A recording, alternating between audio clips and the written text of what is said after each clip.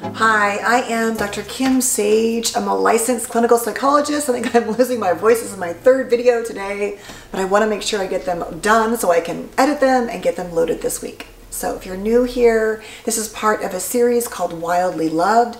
And within that series is this mini series called What is My Trauma Type? Where we're going to go through the trauma types of fight, flight, freeze, fawn, collapse and submit, and attach, cry out for help. And if you're just new today, please check out the videos I've already posted this week uh, based on the fight, flight, and freeze responses. Today we're going to talk about fawn, which is such a common one, I think, for many of us. And basically, this response, like all of these responses, is really meant to help us deal with our feelings of abandonment and alienation and or neglect, lack of emotional safety, and really our attempt to get our needs met in some way in childhood. And so the fawn type has learned that the, the way to stay safe and to get our needs met is to take care of everyone else and meet their needs. And so what we really believe is that we have to sacrifice ourselves. Pete Walker says, and that is in this book, which I'm using this week, uh, Complex PTSD from Surviving to Thriving, highly recommend it is that the price of admission to relationships is to leave ourselves at the door, right? To say, "Oh, I don't I don't have any needs, you know, what needs do I have? But I'm really good at taking care of your needs." And we usually are pretty good at it. And so we've learned to mind and mood read around others, to rotate around them, and the caretaking has served us well. Because in our childhoods, in many regards, we had parents who kind of exploited that part of ourselves. We're often very, you know, empathic and kind and loving. But the parent said, yeah, why don't you be my best friend and let's discuss all my life's issues or my relationships? Or why don't you also raise your siblings, right? Or let's have some enmeshment here where there's no real separation between me and you and I can talk to you hurtfully and say whatever I want and then turn around and try to be a loving parent and like mind screw you. It's, it's such a complicated dynamic. And Pete says oftentimes in this in this pattern, if this is your like first or second position, that you may have had a parent very likely who was, I would argue, somewhere on the narcissistic or borderline or immature spectrum, where they tended to parentify you, because it is not just narcissistic parents that do this. Parents who lack awareness do this. And we all make mistakes, but we're talking about long-term patterns. And so in some cases, these kids learn to entertain and be the jokester and keep everybody happy. And uh, but at the core, it usually comes out of making it clear through, you know, fear induction or shame that you don't get to have a separate sense of self. Your job is to revolve around me, and then I will make sure you get your needs met. And so as a result, a lot of these people, uh, these those of us who have this style, have some parts of us that are that very wounded inner child. We have some places where our development is a bit arrested. It's not been allowed to fully grow and evolve. You know, it kind of got stuck or blocked in certain parts of development. And so that can make it difficult. And the distortions with fawn are that we have to merge, which I would argue is enmeshment to connect, and we have to grovel to be safe. We have to, you know, grovel is such a kind of yucky word, but it's like I have to make sure that you're good for me to be good. And the hard part about this one is that most of the world says, oh, you're a caretaker, great, come on in. And who loves that most? Narcissists. People who have more narcissistic traits um, can appear very stable and very, you know, very uh, initially containing, but they love a, a good caretaker. A, because you know, you, you're taking care of them, and B, because you'll caretake all the things in their relationship they don't want to deal with that you're probably good at, you know, whether it's parenting or the job or, or the house or whatever. And so as a result, there are some detrimental dynamics, as, as Pete talks about, with having the style. They are to be what he calls codependent, or we use the word codependent. I don't love the word, I don't like the codependency concept as it relates to attachment theory. I do think it's more appropriate for substance abuse. And I just feel like this word doesn't really honor, it kind of pathologizes that we're, we, we had to do these things to get our needs met. So I'll, I'll probably come talk about that more later. But the idea of, I like to think of it as a caretaker. We can be more in servitude to others. We can definitely lose ourselves through being people pleasers and doormats not knowing how to self advocate, to be assertive and stand up for ourselves. We can be what he calls, you know, social perfectionists. We're trying to always get it right, or the parentified child. And the bottom line is that, you know, we're not able to bring our, our full selves into relationship. For many different reasons, we've learned to rotate around others. And I think you can really see this in a more anxious or disorganized pattern of attachment where you learn to really read the mind and mood of others, as I said. And so it's really hard to break because don't forget, like I keep saying, your nervous system, which is that polyvagal theory idea, sets the stage for your attachment system. They're wired together. And so it's not just in your mind you think, oh, I'm going to take care of them and I'm going to, you know, I'm going to read their mood and mind. You are just doing it. You're always assessing facial expressions, tone of voice.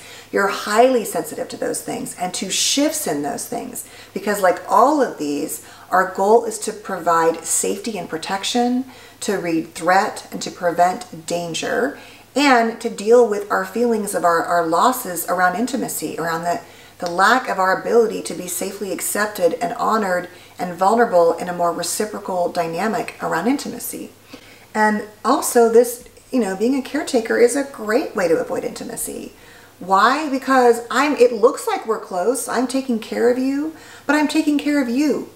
And there's often not space for you to take care of me in that dynamic. And or I've chosen somebody like I said who is happy to let me take care of you. And so that keeps me away from having to really deal with you can really, really hurt me, or I have to really show up and, and be vulnerable. There's like a wall there. Now, it might seem like I am, but trust me, if this is your style, there's a wall there when it comes really down to it. Or maybe there is no wall and there's no there's too much of a, a boundarylessness and there's no self-protection. I, I think that happens as well. But the bottom line is those aren't really healthy, balanced, I like actually don't like the word healthy. They just aren't really balanced dynamics and integrated dynamics. And that's what we want to work on. And so what do we need to do to heal? We want to work on understanding that it was never our job to keep our parent happy and, and deal with all their feelings and moods and emotions and their mind. And that is a huge part of what I talk about um, really on all, all of the videos I make, whether it's on TikTok or here because I truly believe that we just thought that's how it was.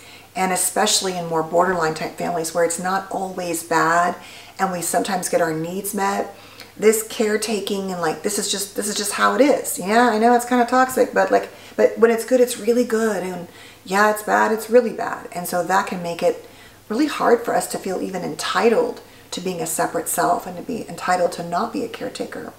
We want to understand the price we pay. Often our health is you know, our mental and physical health are impacted because we're not taking care of ourselves. We need to work to shrink the inner critic who tends to listen more to others rather than self advocate. And so we want to learn to say no more and to say, I don't, that doesn't work for me. And no, no, no, no, thank you. I'm not doing that. You know, I, I won't be doing that. Um, and learn to set boundaries around what we will do and what we won't do.